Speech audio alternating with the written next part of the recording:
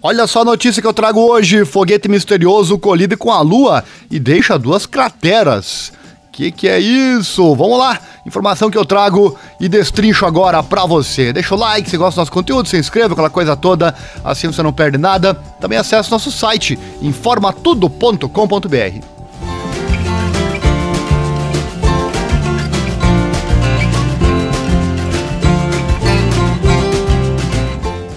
É verdade, é verdade. Já tem objeto misterioso batendo na Lua. A NASA fotografou o local do acidente do, desse misterioso foguete que colidiu com o outro lado da Lua em março. E a espaçonave não identificada deixou para trás uma estranha cratera dupla que deixou os cientistas intrigados. Imagens do local do acidente foram tiradas pelo Lunar Reconnaissance Orbiter da NASA em 25 de maio e divulgados em 24 de junho. As inesperadas crateras duplas acionaram uma camada extra de estranheza, um mistério que confunde observadores espaciais desde janeiro, quando Bill Gray, astrônomo americano e desenvolvedor de software que rastreia objetos próximos da Terra, previu que o pedaço de lixo espacial em órbita atingiria o lado oculto da Lua em questão de meses, como o site Live Science relatou anteriormente. Quando Gray viu os destroços pela primeira vez, ele sugeriu que era o segundo estágio de um foguete é, Falcon X lançado pela SpaceX do Elon Musk lá em 2015. Mas observações posteriores e análises de dados orbitais sugeriram que o objeto era o estágio superior gasto do Chang'e da China, do foguete 5T1, uma nave espacial que foi lançada em 2014. As autoridades chinesas, no entanto, discordaram, alegando que o estágio superior deste foguete queimou na atmosfera da Terra anos atrás. E até o momento, pelo menos 47 corpos de foguetes da NASA caíram na Lua, de acordo com a Universidade Estadual do Arizona. Mas a cratera dupla foi inesperada, é o que escreveu a NASA em um comunicado.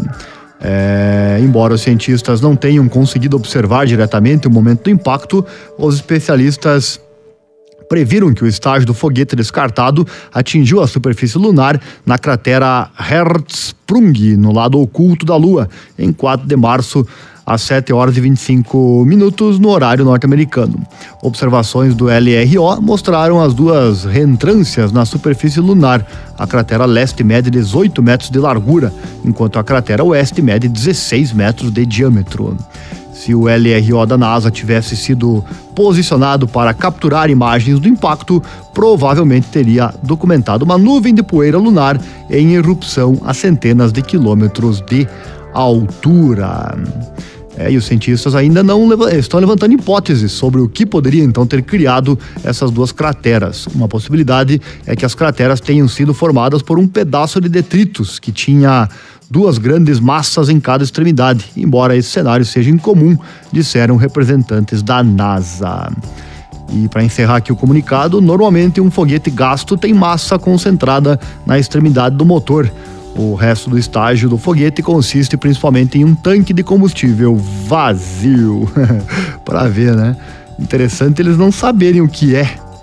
é. Mas também tem tanto lixo espacial em órbita ao redor da Terra, né? Tomara que nenhum desses lixos colidam com nossos satélites no futuro, o que com certeza causaria sérios problemas de comunicação aqui na Terra.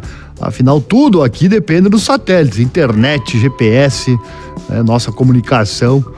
É, necessita desses satélites e o lixo espacial já é um problema, né? Já é um problema bem sério lá para cima, lá no espaço. Tá então um foguete misterioso colidindo com a Lua e deixando duas crateras. Chegou até aqui, meu amigo. Deve ter gostado então de mais essa informação, essa curiosidade maluca, né? Foguete misterioso colidindo com a Lua e deixando duas crateras. Deixa o like então, se inscreva, acione o sininho clique em todas as notificações, assim você não perde nada, vídeos diários aqui para você com muita curiosidade, muita coisa interessante. Também acesse nosso site informatudo.com.br.